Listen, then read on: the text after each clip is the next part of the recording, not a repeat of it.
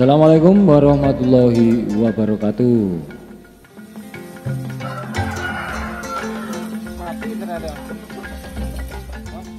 Sahabat maestro, apakah kalian berniat memiliki atau sudah memiliki peternakan ayam? Hal terpenting ketika peternak ayam adalah pilihan pakan ayam yang tepat agar ayam dapat tumbuh dengan baik dan sehat.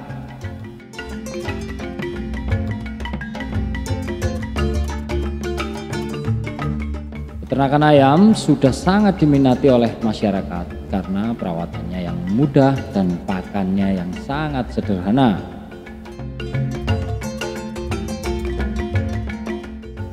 Namun, tidak semua pakan baik untuk diberikan pada unggas. Pakan ayam yang baik harus memiliki nutrisi seimbang yang membuat ayam dapat tumbuh dengan baik dan sehat.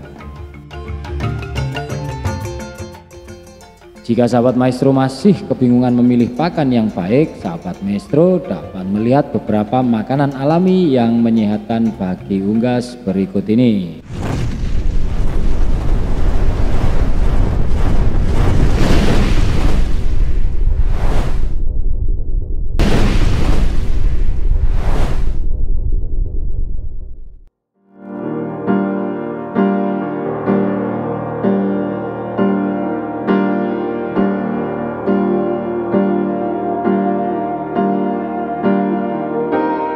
Pakan ayam alami yang terbaik menurut versi maestro yang pertama adalah jagung giling.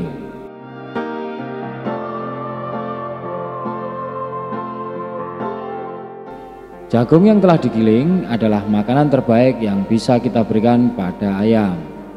Kandungan dan nutrisi pada jagung juga sangat menyehatkan bagi ayam. Pada jagung giling kita dapat menemukan serat, vitamin C, asam lemak, omega 6, vitamin B, kalium, dan masih banyak nutrisi lainnya.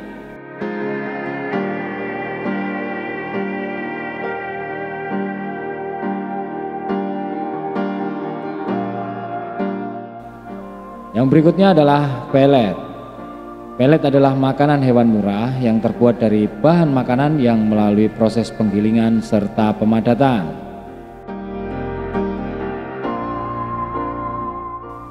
Umumnya pelet digunakan sebagai makanan untuk ikan atau ayam dan sangat diminati oleh peternak ayam karena harganya yang murah. Pelet untuk ayam terbuat dari berbagai jenis makanan seperti sayuran, kunyit, dedak, vitamin, tepung ikan, kedelai, jagung, bekatul, dan air bersih.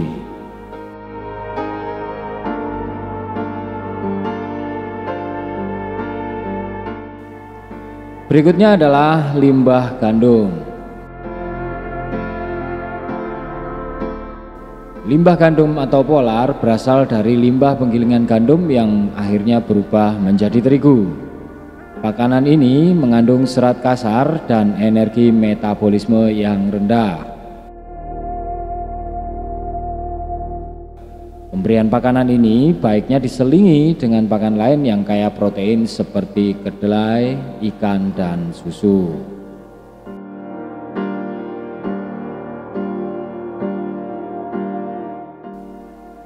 Yang berikutnya adalah dedak atau bekatul. Pakan yang satu ini sering menjadi andalan para peternak ayam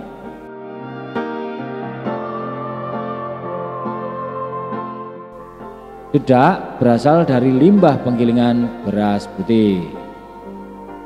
Karena gizinya yang kurang lengkap, ada baiknya kita menyelingi dedak dengan pakan lain agar nutrisi ayam terpenuhi.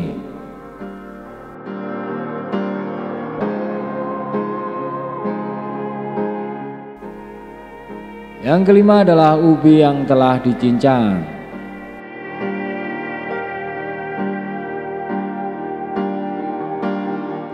Kandungan protein dan serat ubi sangatlah tinggi, sehingga cukup menyehatkan bagi ayam.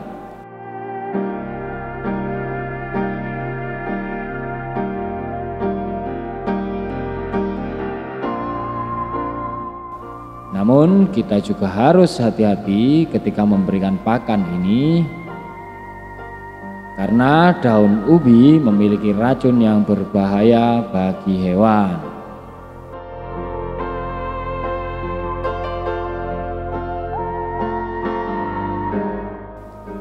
Yang keenam adalah tulang ikan.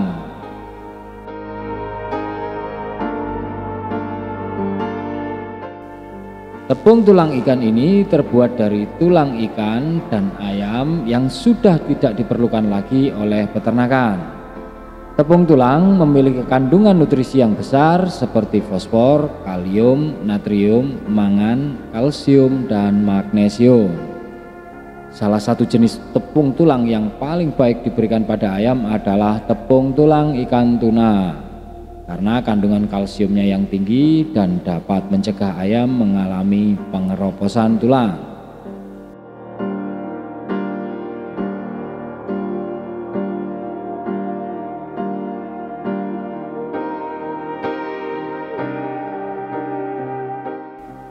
Yang berikutnya adalah pakan ayam sorghum.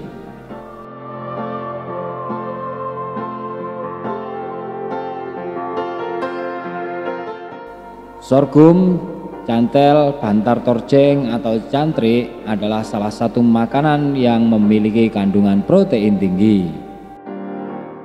Meskipun bernutrisi tinggi, jangan memberikan sorghum berlebihan pada ayam karena dapat membuat pertumbuhan ayam justru menurun dan mengakibatkan kelainan pada kaki-kaki ayam.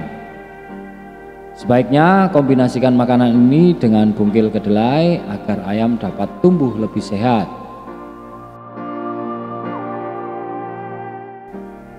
Yang delapan adalah pakan ayam dari tepung ikan.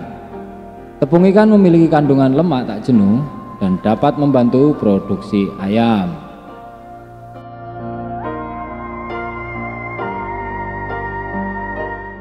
Kandungan mineral dan vitamin pada tepung ikan juga sangat bermanfaat bagi kesehatan ayam.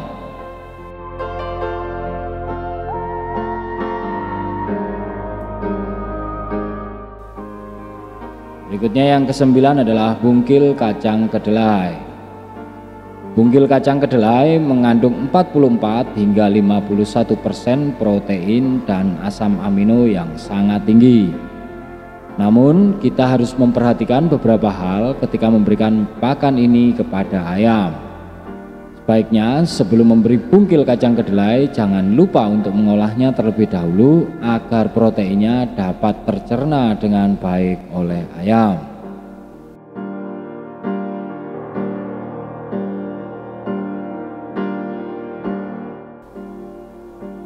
Yang sepuluh, tepung keong mas atau siput.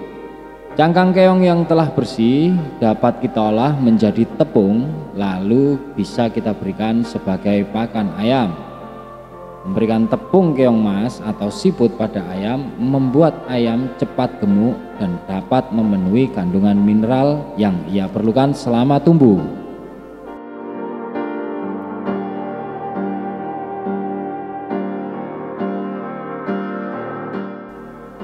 Yang terakhir adalah nasi putih. Kita dapat memberikan nasi putih sebagai pakan. Jadikan nasi putih sebagai makanan selingan untuk ayam agar kandungan karbohidrat mereka terpenuhi. Demikianlah yang bisa kami sampaikan dalam pertemuan kali ini. Untuk pembahasan komposisi sengaja masih dalam pertimbangan untuk kita paparkan. Hal ini erat kaitannya dengan ketersediaan bahan-bahan yang kami sebutkan tadi di daerah sahabat maestro masing-masing. Sekiranya liputan kali ini bisa membawa manfaat bagi sahabat maestro semua. Sampai jumpa di liputan yang akan datang. Tetap semangat, dan salam satu hobi.